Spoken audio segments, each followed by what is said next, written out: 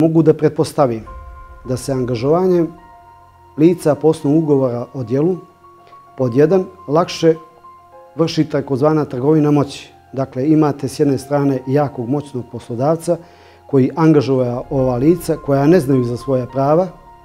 S druge strane, ta lica je uvijek lakše otpustiti iz prostog razloga ukoliko im ne produžite ugovor o dijelu, odnosno ne sačinite novi, to lice će biti lice bez angažmana.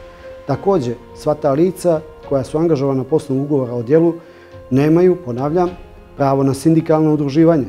Oni, dakle, čak i ako budu jednog dana postali svjesni svog e, stanja i položaja, neće moći da se okupe i da dignu glas protiv ovakvog poslodavca. Iz prostog razloga, ponavljam, jer nisu angažovali poslovnog ugovora o radu.